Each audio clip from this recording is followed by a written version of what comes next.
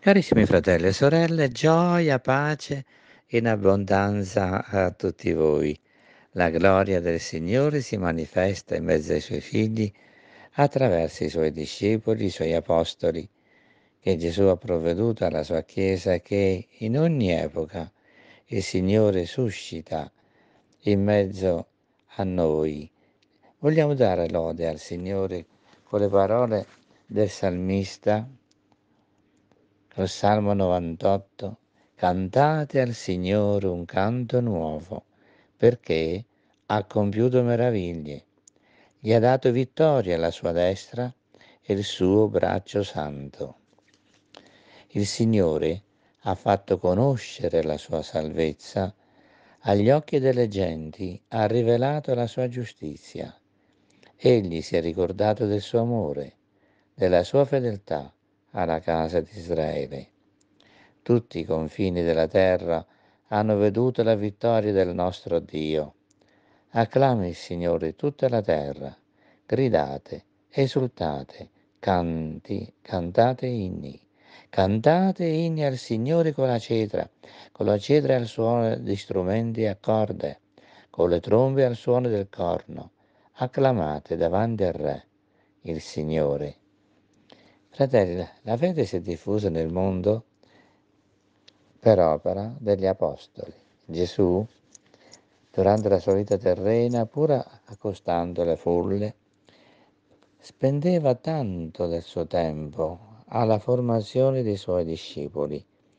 Oltre ai dodici, una volta ne chiamò 72 e li inviò a due a due perché andassero in città e villaggi dove lui stava per recarsi per preparare la sua venuta, ma dando loro anche il potere di guarire i malati, di cacciare i demoni. Fra questi non sappiamo se ci sia stato anche San Barnaba, di cui oggi la Chiesa celebra la festa. Negli Atti degli Apostoli si parla di Barnaba che aveva un campo, lo vendette e depositò l'importo ai piedi degli Apostoli. Era un uomo giusto, pieno di fede e pieno di Spirito Santo. E quando gli apostoli vennero a sapere che ad Antiochia di Siria si stava diffondendo la fede, mandarono Barnaba come ispettore, come vescovo, a indagare non solo, ma anche a guidare la crescita di quella chiesa.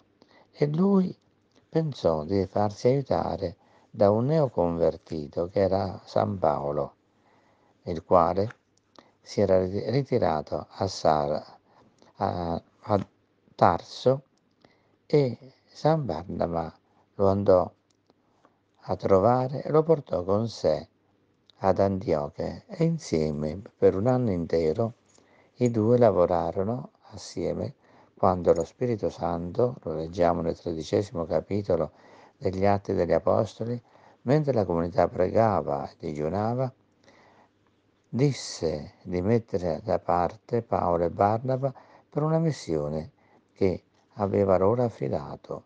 La comunità pregò, chiese luce e alla fine impose le mani ai due apostoli e li inviò ad annunciare il Vangelo.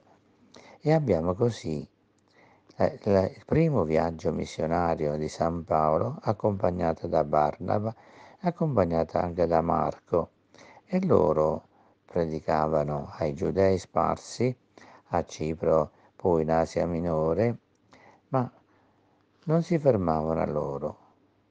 Andavano anche dai pagani e tanti pagani si convertirono e al loro ritorno quando tornarono a Gerusalemme dagli Apostoli, riferirono quanto il Signore aveva fatto per mezzo di loro in mezzo ai pagani, tanto che San Pietro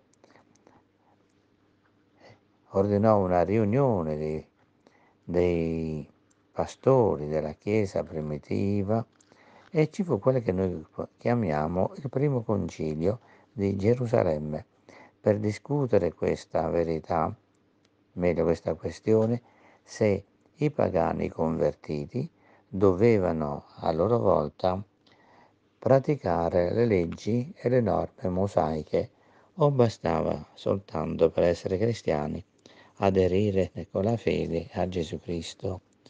E in quell'occasione, sappiamo bene, lo leggiamo nel quindicesimo capitolo degli Atti degli Apostoli, gli Apostoli decisero che i pagani convertiti non erano tenuti a predicare le leggi mosaiche, ma di astenersi dagli animali soffocati, dall'impurità, dai cibi sacrificati agli idoli, perché appunto gli ebrei erano dappertutto per evitare questioni e litigi si astenessero per carità quindi da queste cose.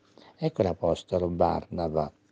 All'inizio del secondo viaggio missionario San Paolo e San Barnaba ebbero un dissidio tra loro, perché durante il primo viaggio missionario Marco li aveva abbandonati, forse perché era giovane, forse perché era inesperto, ma li aveva abbandonati, per cui Paolo decise di non portarlo più con sé per non avere problemi. Allora non c'erano i mezzi di comunicazione che abbiamo adesso per cui si poteva tor- facilmente tornare indietro. San Barnaba invece accettò di portarla con sé, allora loro divisero le loro strade e negli Atti degli Apostoli non abbiamo altre notizie di San Barnaba, ma una cosa è certa, una cosa è certa, era pieno di potenza di Spirito Santo, cambiava i cuori e tanti arrivavano alla fede per mezzo di lui. Ora, quando Gesù mandò i 72 ad annunciare il Vangelo, detto questa ingiunzione, non passate di casa in casa, ma prendete alloggi in una casa, dicendo ai proprietari, pace a questa casa. Se quelli vi accolgono, voi rimanete in quella casa mangiando quello che vi servono. Poi istruite gli abitanti di quella casa, i parenti, e passate la voce di modo che la parola di Dio si diffonda a tutta la città per mezzo di vostro non passate di casa in casa. E questo è il modo di evangelizzare che Gesù usava, quello del, della trasmissione della fede da persona a persona, non semplicemente raccontando fatti o discorsi sentiti, ma quando il fuoco si accende a sua volta può accendere un altro fuoco. Così la fede, quando è entrato ed è maturata, porta porta a tutti, porta a tutti il dono della grazia di Dio. Perciò l'evangelizzazione fatta dai primi apostoli è un'evangelizzazione che andava diretta al cuore della persona, come anche tu fratello, sorella, puoi evangelizzare. Non c'è bisogno che conosca tante cose la prima cosa che tutti dobbiamo conoscere è che Dio ha rimesso i nostri peccati. Allora tu, marito, dillo a tua moglie, ma con convinzione che Dio ha perdonato i suoi peccati.